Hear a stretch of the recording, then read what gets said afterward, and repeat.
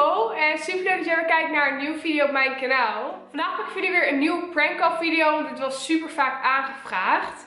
Ik ga vandaag weer bedrijven bellen en ik ga klachten indienen. En het zijn echt hele domme klachten. Zo ging ik in mijn vorige video bijvoorbeeld de supermarkt bellen en ging ik zeggen dat ik een pak halfvolle melk had gekocht. Maar toen ik thuis kwam was hij qua inhoud dus gewoon vol. Super dom, maar het zijn wel super grappige discussies. Dus vandaar dat ik een deel 2 ga maken. Vind je dit een leuke? Zeker weten een pluimpje omhoog. Vergeet je onder niet te abonneren. En let's get started. Ik ga als eerst een supermarkt bellen. En mijn klacht is, ik kocht een cola light.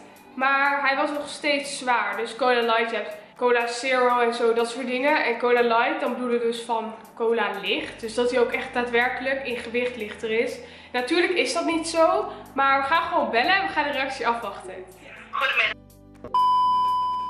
Uh, goedemiddag, gesprek met Bo. Ik had even een vraag. Is toevallig de uh, manager of iets uh, dergelijks aanwezig? Ja, ik ga even doorverbinden. Ah, super, dankjewel. Doei. Doeg. Goedemiddag, gesprek met Bo. Ik had even een ja, eigenlijk klacht wat ik wil indienen. Vertel. Want ik was vanochtend in jullie filiaal aanwezig. Ja? En ik had een fles Cola Light gekocht. Ja. Want ik had niet zoveel plek op de fiets. Ik dacht, nou, dat is lichter. Maar vervolgens zet ik hem op de weegschaal en is hij even zwaar als een normale fles cola. Hè? Sorry, zeg het nog eens. Je hebt een, een fles wilde je kopen, cola light. Ja, nee, ik dacht dat hij lichter was, maar dat bleek dus helemaal niet zo te zijn. Waarom zou die lichter moeten zijn? Het is toch Cola Light? Nou, grappig. Nee, maar het is een serieuze vraag. Waarom is dat dan niet lichter? Dat is toch raar? Maak je een grap met me of heeft u een serieuze vraag? Nee, een serieuze vraag. Als cola light niet lichter is. Ja.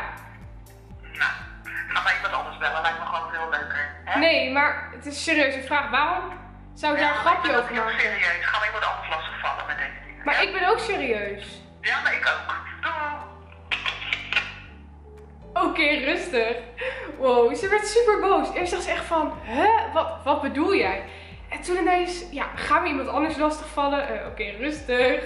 Oké, we gaan snel door naar de volgende. Let's go! Als tweede ga ik nu een boekenwinkel bellen. Ga ik vragen of ik mijn boek nog kan ruilen. Want ik heb mijn boek al uitgelezen, maar ik vond het eigenlijk helemaal geen leuk boek. Dus ik wil wel graag mijn geld terug als dat kan.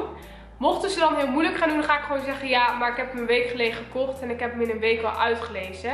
En dan gaan we een beetje moeilijk doen. Ga even kijken hoe ze gaan reageren. Let's go! Goedemiddag. Uh, goedemiddag, gesprek met Bo. Ik had even een vraagje. Is toevallig de filiaalmanager aanwezig?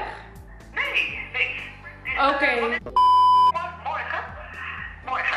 Oké, ja, want het gaat eigenlijk om een ja, soort van klacht. Ik heb een week geleden bij jullie een boek gekocht. Ja. En die heb ik helemaal uitgelezen. Maar eigenlijk vind ik het boek helemaal niet leuk. Dus mijn vraag was van, kan ik hem dan nog terugbrengen? Nee, nee. Nee, dat kan heel duidelijk in zijn. Dus dan kan je hem niet meer terugbrengen. Nee, nee, nee. Maar binnen hoeveel dagen kun, eh, kan je bij jullie wat ruilen?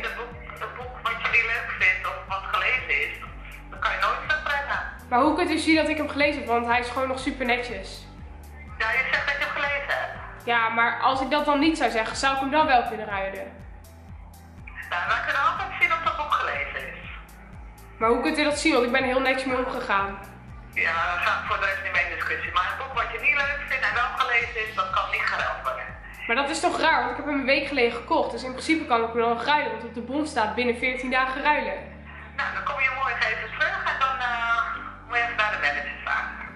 Maar kan ik hem dan ruilen of niet? Want anders kom ik helemaal naar jullie winkel Ik toe. zeg van niet, maar ja, ik ben geen manager, dus moet je met hem eh, in discussie gaan, ja? Oké, Oké, dag. doeg. Oké, deze vrouw. Ze wist, ze wist niet zo goed, denk ik, wat ze ermee aan moest. Maar ze had op een gegeven moment, volgens mij, ze had gewoon geen zin in discussie. Dus ze dacht, ja, doei, laat de manager hier maar mooie discussie voeren. Beetje geslaagd, beetje niet. We gaan snel door naar de laatste. Als derde ga ik nu een supermarkt opbellen en ga ik als klacht indienen. Ik kocht vanochtend jullie filiaal een pak broodmix om eigen brood te maken. En er stond als vierde stap op dat ik het brood tegen moest laten rijzen. Maar ik wil helemaal niet reizen, ik wil gewoon thuis blijven. Dus als je het goed begrijpt, reizen van deeg, dus dat gaat uitzetten, et cetera. Maar dat wil ik niet. Ik bedoel, ik denk niet zo. Ik denk dat reizen gaat over van plek naar plek. Dus ik heb zoiets van reizen. Dan moet ik misschien naar de andere kant van de stad. Daar heb ik helemaal geen zin in. Ik wil het gewoon thuis maken. Sowieso gaan ze daar echt confused zijn van wat bedoel je. Maar we gaan gewoon bellen. Let's go. Goedemiddag, Uh, goedemiddag, gesprek met Bo. hoi Bo. Is toevallig de filiaalmanager aanwezig? Ja, die is er. Eh, zou ik die misschien even mogen spreken? Ja, en van wat ben jij? Eh, ik wil een klacht indienen. Oké, is goed. Ja, dankjewel. Goedemiddag.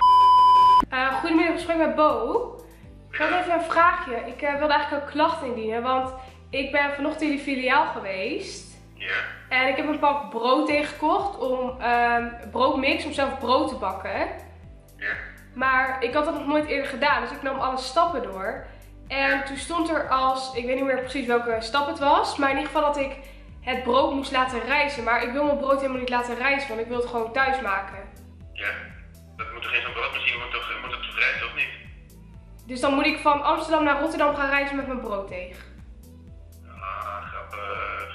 Nee, maar serieuze vraag. Ja. Dat is toch raar? Ja, dat vind ik ook heel raar. Maar ik kan het dus niet thuis maken. Ik moet dan per se gaan reizen met mijn brood. Je mag het alleen in de trein maken. Alleen in de trein maken. Ja, alleen in de trein. Dus kan niet in de auto. Nee, alleen in de trein. Ook niet op de fiets, alleen in de trein. Oké. Alleen, hè? Mag Ja. iemand die in het coupé zijn, je moet alleen zijn. Dat wordt dan wel een beetje moeilijk. Ja, jammer. Ja. Moet geen brood eten dus. Nee. Nou, succes hè? Ja, dank u wel. Wow, dit was zo random. Je mag het alleen in de trein maken en sowieso had me door. Maar ik vind het gewoon grappig hoe mensen hier dan zo positief nog op kunnen reageren. Ik vind hem zeker geslaagd. Helaas was dit dan wel weer de laatste, dus we gaan naar het einde. Dan was dit weer de video en vond je het leuk? Doe dus zeker weten een pluimpje omhoog. Wil je vaker prank call video's? Laat het me hieronder dan even weten. Vergeet niet te abonneren en tot de volgende keer. Doei doei!